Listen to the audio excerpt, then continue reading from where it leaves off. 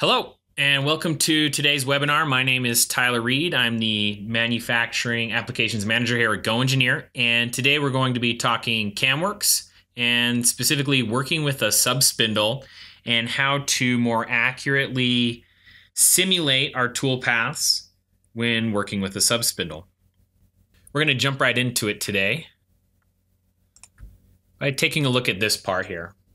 This is just one of the example parts inside CamWorks, but I like this part because it's relatively complex. It could be a mill turn part or it could be done on a lathe and then as a secondary operation taken to the mill.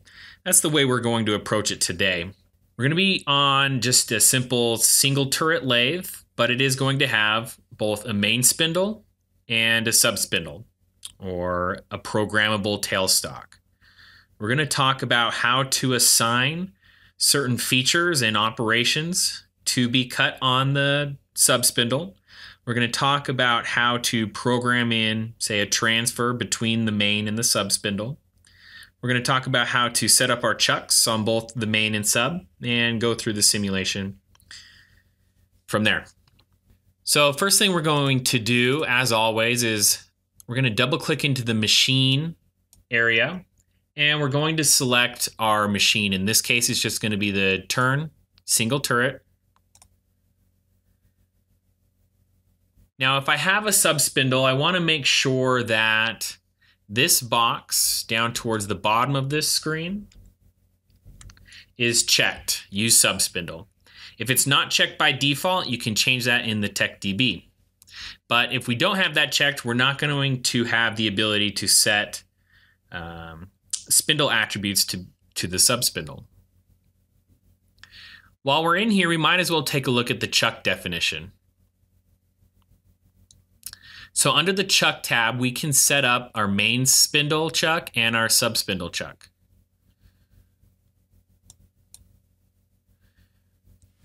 Chuck management window has a handful of chucks built in if these chucks don't correspond directly to a chuck that you have, go ahead and just select the closest size chuck.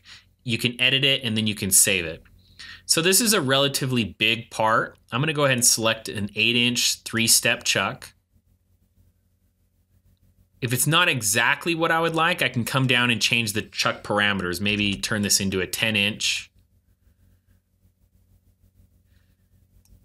I can select whether the jaws are in or out. The number of jaws, right now it's set to six. This might be a three jaw chuck. I can also set the number of steps, the jaw thickness, and then the length and width of each step.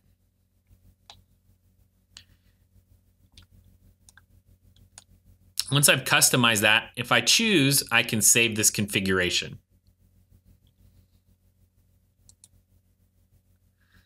I'm going to go ahead and set up something similar on the sub spindle.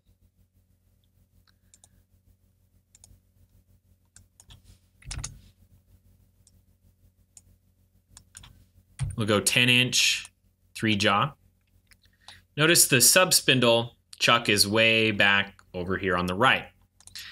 That's controlled by this distance here. This is the default distance between the home positions on the main and sub spindles. Right now it's set to 30 inches. I can adjust that to match my machine. Again, this is something that would be done in the machine definition within the TechDB so that you wouldn't have to be doing this every single part.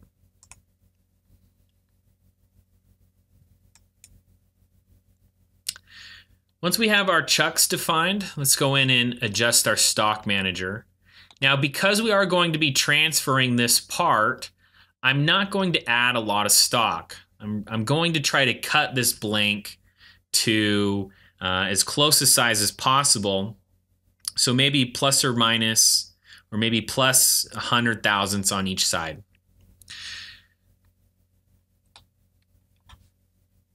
The stock that it came up with is this minimum bounding cylinder. We're going to go ahead and change this to aluminum. We're going to up the OD from six inches to say seven.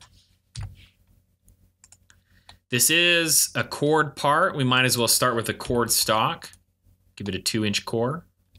The overall length right now is five inches, and that corresponds directly to our part size. I'm going to go ahead and bump that up to 5.2. So that's what we're going to aim uh, to saw it at. And then we're going to offset it 5.1. So there's 100 thousandths on each side here.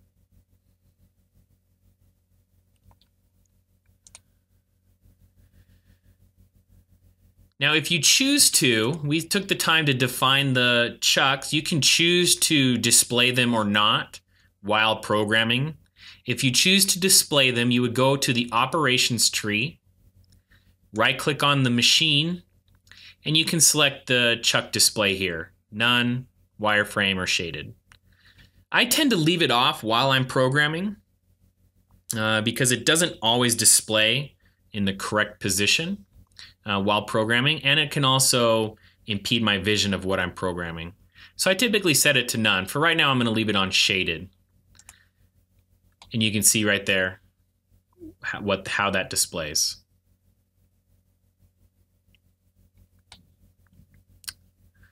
All right, now we're going to start programming this guy. I'm going to go ahead and use the automatic feature recognition.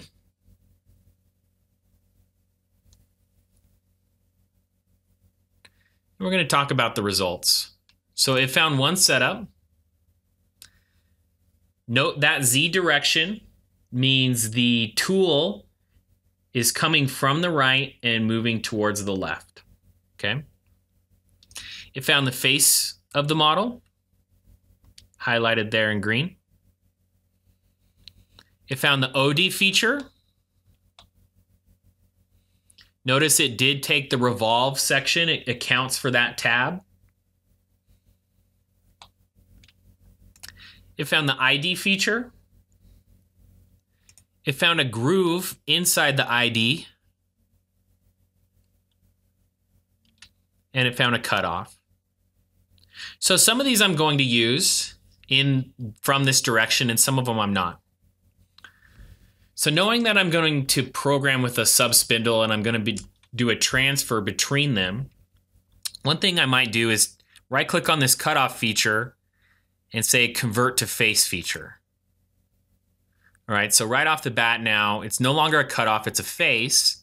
Now, the next thing I need to do is since it's still under this original turn setup, but we're going to be cutting from the opposite direction, I need to double click in here and set the spindle attribute to subspindle.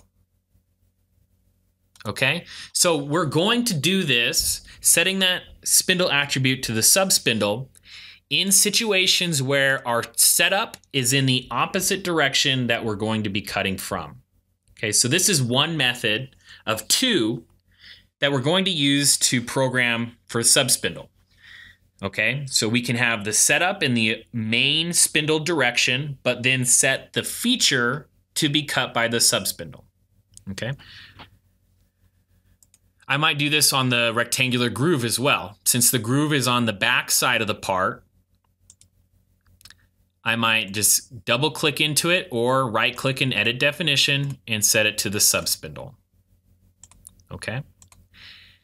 The other method I can use is to create a whole new setup from the opposite direction. So I would right click on the stock manager, new turn setup, and I'm simply going to select the reverse direction. So note the Z direction now is the opposite side. And this is going to act as uh, a setup being held by the subspindle. Okay. And now I can create my own features on this setup. I can also copy features from one setup to the next. So this OD feature, I'm probably going to have to cut it from both directions. It's already been created once. There's no sense in me recreating it. I'm going to copy it. I'm going to hold control.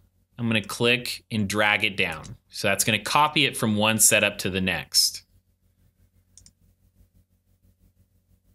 I can also right click on a feature and say copy features and I can copy it to a certain setup using this method as well.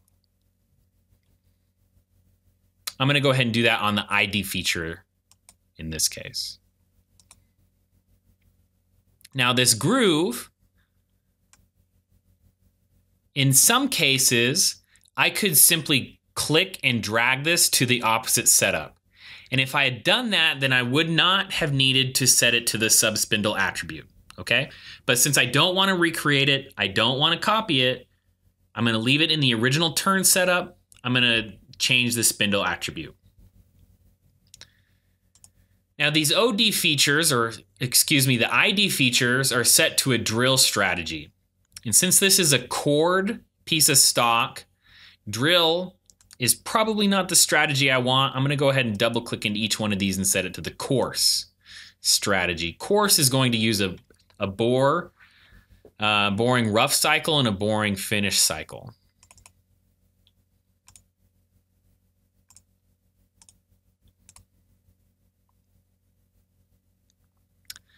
Okay, so at this point, I have my features that I want to cut. We're going to run these through the database. The database is going to look at the feature types, the sizes. It's going to look at the strategies that I have selected. It's going to look if it's set to the main spindle or sub spindle. And it's going to create operations for me. Now notice what this did. So it kicked me over to the operations tree. I have turn setup one, which is the original direction. And I have some face rough and finish cycles, OD fit rough and finish, and the boring rough and finish. And then it jumps over to setup two, which was the opposite direction. We can see the chuck has changed position. It's got the OD and the ID roughing and finish. And then it comes back to turn setup one, but it's labeled as a sub setup. Okay.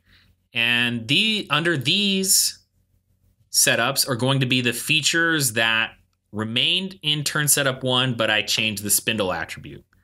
So this is going to be the groove and the facing of the model. Okay. And here's a situation where I mentioned having the chuck display turned on while programming, at least in the case of subspindle, doesn't always display in the correct position. But when we move over to the simulation, we'll see that it is in the correct position here. So I'm going to go ahead and turn the chuck display off for right now. Let's throw some toolpath on here. So I'm going to go ahead and generate toolpath for all of the operations. And we're going to have to throw some Z limits on here because we are going to be doing that transfer and because our features were the entire length of the part, we're going to get situations like this. So here's the OD roughing, moves all the way down to the end of the part. We don't really want that. We're, the same thing goes for the ID. We're going to be cutting it from two directions. We don't need this. So what I'm going to do is I'm going to set up a, a Z limit for the entire setup. Okay. So I'm going to double click on the setup. I'm going to go to advanced. Under the Z end option, I'm going to say user defined. Click this pick a point icon. And I'm just going to select the end of that tab. I don't want my tool to go past that tab. Now I'm setting up a Z limit for the entire setup. Each individual operation has to be told to use that setup definition. And mine aren't set up that way out of the TechDB, so I'm going to have to come in here and click on each one.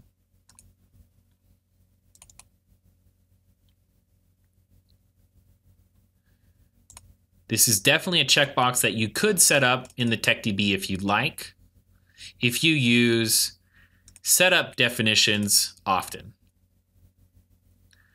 Okay, so I'm going to go ahead and regenerate my toolpaths. And let's take a look at what, what we have now. So we have our face rough and our face finish. Then we have the OD roughing. Notice it doesn't pass the edge that I selected. And if I turn my chuck display back on real quick, we'll be able to see right away that we're still clear of the chuck. Okay, that's pretty important. And the roughing cycles on the bores. Okay. Now from the opposite side, notice how much it's actually cutting. It also stops at that edge uh, because in turning, it's always looking at the work in progress. So it um, it's never going to run the tool over an area that doesn't have material to cut. So when I'm cutting features from one side and the other, I really only have to limit the Z on the first step. And then the work in progress, just the nature of how CamWorks operates, is going to take care of the rest. So we have our turn, we have our OD rough, we have our OD finish. We have our boring cycle. Okay, and then here's the grooving now. Let's turn our chuck display off. The grooving does come from the left-hand side, and it's come in and it's going to come in and groove. Now, the face feature didn't generate any toolpath because it's actually being cut with as part of the OD uh, the OD finish. I could override that if I want. I could come in and I could adjust, say, the Z start. I could add a Z start limit. I could also, under the feature options tab, add a start length or a start offset. But in this case, I'm not going to worry about it. We're cutting our features. These tools are going to work, so we're good to go. Let's talk about setting up the chuck position. Within each turn setup, we can select the origin location. We can add an offset. So if you're using work offsets, uh, on turning, this is where you would input those. Then you have the chuck location. And the chuck location is going to give you a representation of the stock shape at the beginning of the setup. And it's going to have these arrows. And these arrows are going to correspond to where the chuck actually clamps onto the part. Okay, so in this case, it, we look good. Uh, if we wanted to offset this, we could. So if we wanted to choke up on the part, we do have some room. And assuming we have a clearance hole in our chuck that would allow our stock to move into the chuck, we could choke up on the part. Let's turn the display back on. So in our, you can see I can set it up wherever I'd like. The important thing here is that you want to match up in CamWorks how you're actually going to set up the part. I can even choke down on it as well. Okay.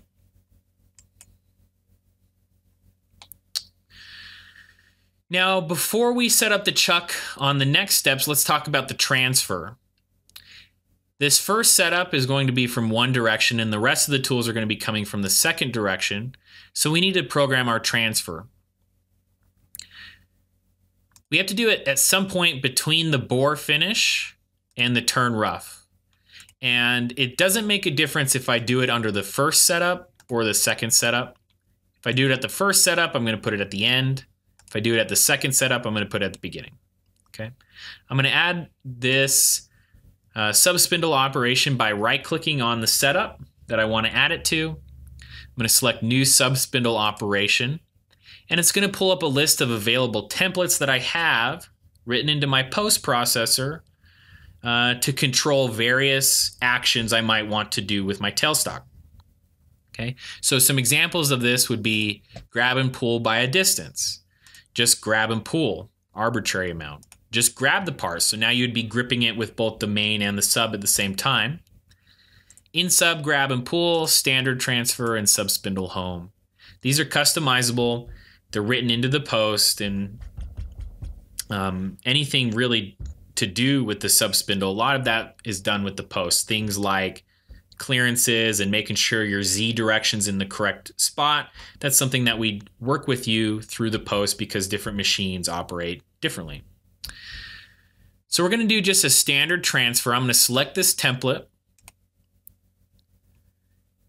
Hit the green check. It's going to take me over to this next window which is going to bring up the actual steps um, of this template. So we can see each step is very granular. The main spindle turns off, the subspindle turns off. The main spindle orients to C0, the subspindle does the same. Then the spindle rapids to a certain position, then feeds to a certain position at a certain feed rate. It, the subspindle is going to clamp onto the part.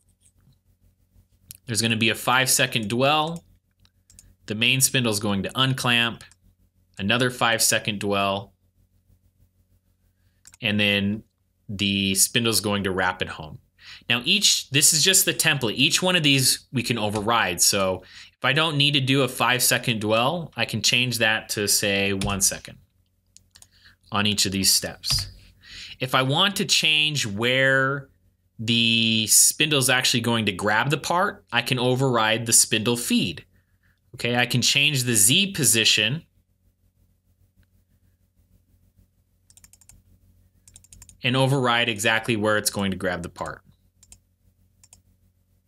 Okay, and I can change the feed rate as well. So since I added it to the turn setup too, it shows up as a line item here. I'm going to pull it to the very top of my setup. Because that's where it's going to actually occur in the timeline. Now let's talk about the chuck positions. So under turn setup two, we can see a mistake here on the turn or in the chuck position. This should be grabbing the OD. So I'm going to go ahead and activate that window and select that guy. Now, if I had offset this in my transfer templates, if I had told it to uh, rapid and then feed to a different position than the default, I would want to make sure I put the corresponding offset in this window here to make sure that my simulation is accurate.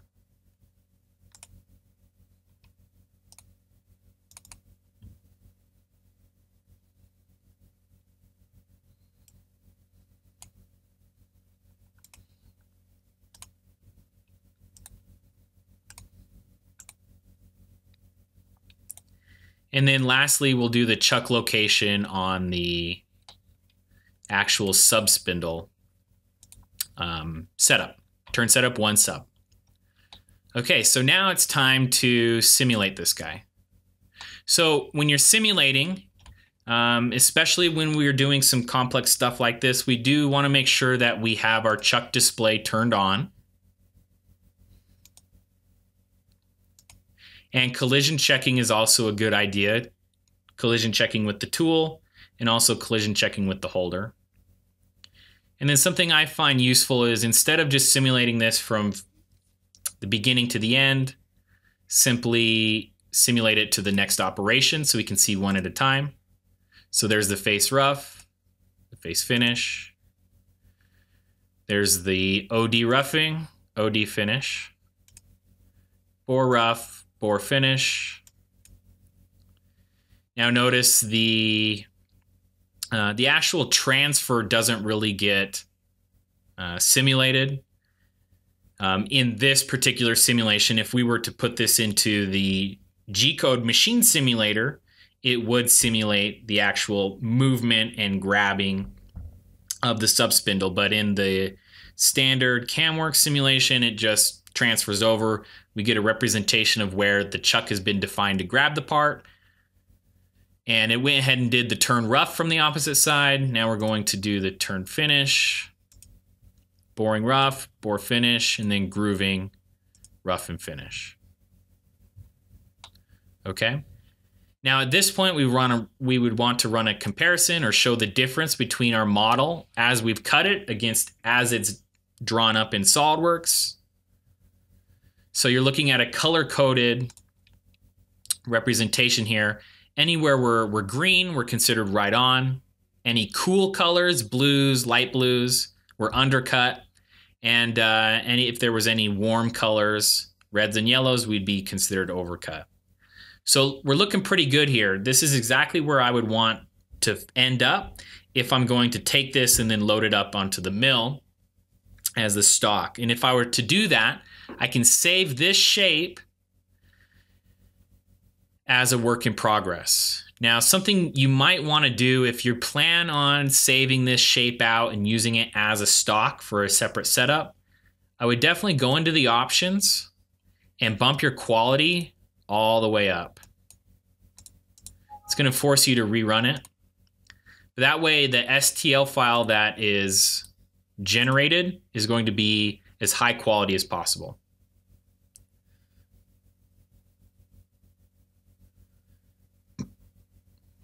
Okay. So I'm going to go ahead and click on this second icon from the right, save work in progress as STL. I'm going to save it to my desktop. I am going to save this in inches. Take note the units you're saving it in. Okay. Now, the turn setup's good. We're actually ready to post process this at, at this point. The subspindle operations have been defined, the, the transfer has been defined, we're good to go. So that about covers what we wanted to cover in this webinar. But real quick, I'm going to show you how to read in that stock shape for a mill part setup. So if I want to do turning and milling on the same part, I'm actually going to create a second configuration within CamWorks. So I'm going to right click on the configurations tab, say new config. This time I'm going to use a mill machine, so I'm not going to change the machine. But when I come into the stock manager, I'm going to select the STL file option, which is the third option. I'm going to browse to that STL I just saved. Make sure the units match up in this drop down window. And now we can see the representation of our stock is going to be accurate to what I'm actually going to load up on the machine. This is going to help us program it more efficiently because we can tell CamWorks to take into account the stock shape. It's also going to help us simulate it more accurately and get a good view of actually what we're cutting here. So to recap, let's head back to the turn configuration. To recap, if we're using a subspindle in the machine entry, we need to check the use subspindle box in the bottom. And we should set up chuck information for the main and the subspindle. And then when it comes to actually creating features, you have two options. You can do all of the features or some of the features within the main spindle direction, but then double click into a feature, or if you're manually creating the feature at the time of creation, set it to the subspindle uh, attribute. The second method is to create a setup in the opposite direction. And in those cases, you're going to use the main spindle attribute. Okay? So those are the two methods. And then when we're going to program a transfer between them, we would right click on the setup, select new subspindle operation, and then select the correct template and input our correct values based on what we would like to see. That's going to do it for this webinar.